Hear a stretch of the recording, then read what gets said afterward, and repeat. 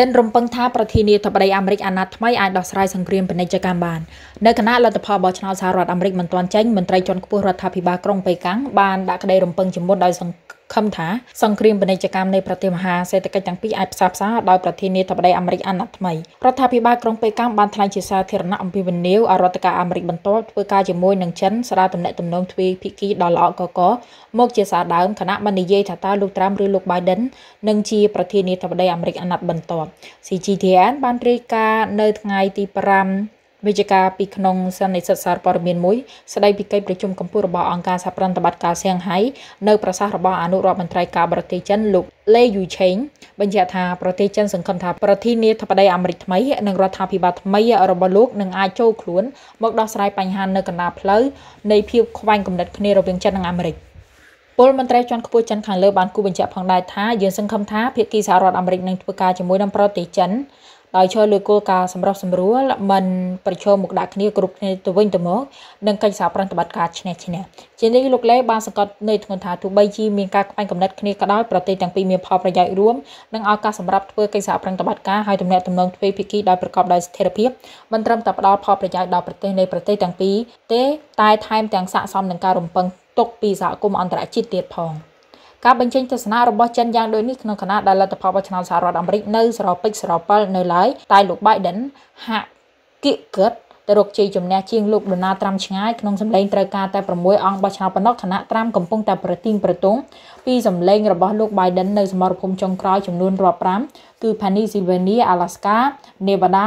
North Carolina និង Georgia ក្រុមយុទ្ធនាការឃោសនារកសម្លេងឆ្នោតឲ្យលោកត្រាំបានប្តឹង3រដ្ឋធំៗដែលរួមមាន Michigan Wisconsin Pennsylvania និងប្តឹងឲ្យបញ្ឈប់ការរាប់សន្លឹកឆ្នោតនៅរដ្ឋ Nevada តែតុលាការកំពូលរដ្ឋ Michigan និងរដ្ឋ Georgia បានប្រកាសទាត់ចោលបណ្ដឹងរបស់ក្រុមយុទ្ធនាការនេះរួចទៅហើយចៅក្រមក្នុងរដ្ឋ Michigan គឺអ្នកស្រី Cynthia Stephen បានសម្រេចចិត្តបដិសេធពាក្យបណ្ដឹងរបស់ក្រុមយុទ្ធនាការឃោសនាបោះឆ្នោតលោកតាមដោយចង់ឲ្យមានការរាប់សន្លឹកឆ្នោតឡើងវិញ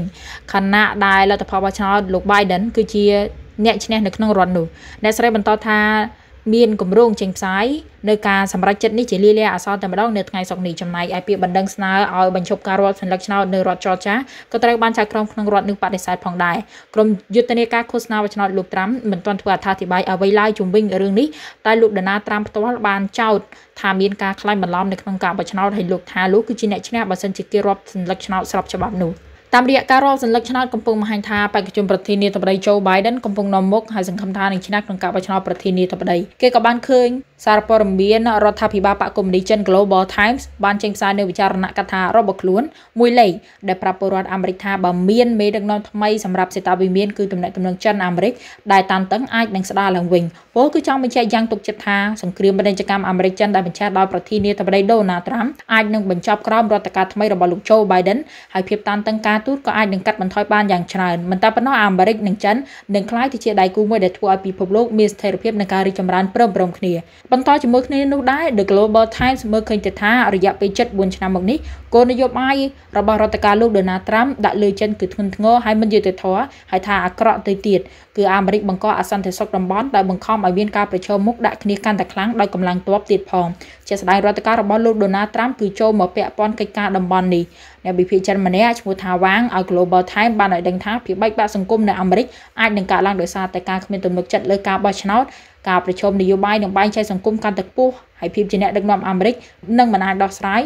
ដល់បញ្ហាប្រទេសជាមិត្តបាននោះទេ សាស្ត្រាចារ្យម្នាក់ទៀតឈ្មោះថា Graham Allison នៃសាកលវិទ្យាល័យ Harvard University ដែលស្និទ្ធនឹងមន្ត្រីចិនមើលឃើញថាលោកត្រាំគឺជាគូប្រជែងរបស់ចិនរកទីបញ្ចប់គ្មាននោះទេហើយមេដឹកនាំថ្មីគឺនឹងបានប្រសើរឡើងនៅទំនាក់ទំនងទ្វេភាគីលោកថាអស់ពីរឿងមួយទៅរឿងមួយដូចជាករណីហុងកុងជីងជាងតៃវ៉ាន់និងសមុទ្រចិនខាងត្បូង លោកក៏មើលឃើញអំពីយុទ្ធសាស្ត្ររបស់មេដឹកនាំអាមេរិកជាប់ឆ្នោតគឺมันអាចកថាធ្វើឲ្យភាពតានតឹងចិនអាមេរិកឆាប់វិលមករកភាពធូរស្រាលបានឡើយព្រោះសង្គ្រាមពាណិជ្ជកម្មដែលលោកត្រាំបង្កឡើងបើទោះបីវាត្រូវរកទីបញ្ចប់តែវាមិនមែនចប់ដោយរហ័សនិងងាយងាយឡើយ។ និយាយទៅសម្រាប់អ្នកអង្កេតការណ៍អំពីប្រទេសចិនគឺភាគច្រើនមិនមានសុតិធិនិយមថាមេដឹកនាំថ្មីរបស់អាមេរិកនឹងអោនលំទោនទន់ភ្លន់ដាក់ចិននោះទេគឺមេដឹកនាំរបស់បកកណ្ដាលអំណាចរបស់អាមេរិកនៅតែបង្កើតគោលនយោបាយរបស់ខ្លួនតានតឹងនឹងចិនដដែលដែលសង្កេតការណ៍មើលឃើញថាបញ្ហាសិទ្ធិមនុស្សនិងការពង្រីកការវិទាននិយមគឺមេដឹកនាំអាមេរិកនៅតែសើរឺហើយគៀបសង្កត់ចិនដដែលទោះស្ថិតនៅក្នុងដំណើរការផ្លាស់ប្ដូរម្ចាស់សេតាវិមានក៏ដោយក៏សហរដ្ឋអាមេរិកនៅរយៈពេលចុងក្រោយនេះ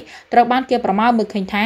នៅតែបង្កើតដៃគូអាស៊ីប៉ាស៊ីហ្វិកកាន់តែខ្លាំងហើយសកម្មជាងមុនទៀតផងតួយ៉ាងស្ដែងពីកិច្ចសន្ទនាពិសេសសន្តិសុខ4ប្រទេសគឺអាមេរិកឥណ្ឌាជប៉ុននិងអូស្ត្រាលី ដែលសិតសឹងតែជាប្រតិយៈនិងសម្បូរយុទ្ធសាស្ត្រសេដ្ឋកិច្ចនិងការពង្រឹងវិស័យសន្តិសុខអាស៊ីប៉ាស៊ីហ្វិកក្នុងពេលបោះឆ្នោតតែម្ដងប្រទេសទាំង4នេះបានរួមដៃគ្នាក្នុងការធ្វើសមយុទ្ធកងនាវាចររួមគ្នានៅក្នុងឈូងសមុទ្រ Bengal ក្រោមគោលដៅនៃការធ្វើឲ្យមានតុល្យភាពជាមួយនឹងចិនដែលចិនកាន់តែមានសកម្មភាពយូរទៀតនៅក្នុងតំបន់ជាក្តីព្រួយបារម្ភណាស់សម្រាប់ប្រទេសទាំង4នេះនិងប្រទេសដទៃទៀតសមយុទ្ធកងនាវារយៈពេល3ថ្ងៃគឺចំពេលដែលឥណ្ឌាក៏ស្រាប់តែមានភាពតានតឹងជាមួយនឹងចិននៅតំបន់ហេម៉ាឡៃដែលរុញឲ្យឥណ្ឌាស្វាស្វែងរកការគ្រប់គ្រងពីសហគមន៍អន្តរជាតិពិសេសពីក្រមសន្ទនាសន្តិសុខចតុភាគីដែលហៅថា quote ដែលត្រូវបានបង្កើតឡើងក្នុងខែមិថុនាឆ្នាំ2017ក្នុងចេតនាទប់ឥទ្ធិពលរបស់កងទ័ពចិនពិសេសកងទ័ពជើងទឹកដែលចិនបានចំណាយលុយរាប់ពាន់លានដុល្លារធ្វើទំនើបកម្មក្នុងរយៈពេលប្រមាណឆ្នាំចុងក្រោយនេះ សមយុទ្ធកងនាវាចររយៈពេល3ថ្ងៃរវាងអាមេរិកជប៉ុនឥណ្ឌានិងអូស្ត្រាលីដែលមានឈ្មោះថា Malabar គឺធ្វើឡើងក្នុងកំហាត់ប្រឆាំងយន្តហោះនិងប្រឆាំងនាវាមួយទឹកអ្វីដែលគួរឲ្យកត់សម្គាល់នោះគឺថាមុនពេលសមយុទ្ធប្រមុខការទូតអាមេរិកគឺលោក Mike Pompeo បានធ្វើទស្សនកិច្ចទៅកាន់ប្រទេសធំតូចនៅអាស៊ីដូចជាជប៉ុនឥណ្ឌាស្រីលង្កា Maldives ឥណ្ឌូនេស៊ីនិងវៀតណាមលោករដ្ឋមន្ត្រីការបរទេសអាមេរិករូបនោះបានបរិហារពីការឈ្លានពាននៅសកម្មភាពបង្កអស្ថិរភាពពីសំណាក់ប្រទេសចិនទៅកាន់ប្រទេសនានាតើសម្ព័ន្ធមិត្តអាមេរិកនៅអាស៊ីបច្ចុប្បន្ននៅតែត្រូវការលោកដូណាល់ត្រាំដែរឬទេ នៅលើទឹកដីអាស៊ានតែម្ដងឥណ្ឌូនេស៊ីដែលជាប្រទេសអ៊ីស្លាមយៈមួយនៅក្នុងតំបន់តាមរយៈអតីតឯកអគ្គរដ្ឋទូតឥណ្ឌូនេស៊ីប្រចាំសហរដ្ឋអាមេរិកលោក Dino Patti Dejala លោកថាលោកមានសង្ឃឹមនៅក្នុងទំនាក់ទំនងអាមេរិកនិងឥណ្ឌូនេស៊ីក្រោមរដ្ឋការលោក Biden ព្រោះលោកត្រាំបានធ្វើឲ្យរំខានទំនាក់ទំនងប្រទេសទាំងពីរបន្តិចនោះទេ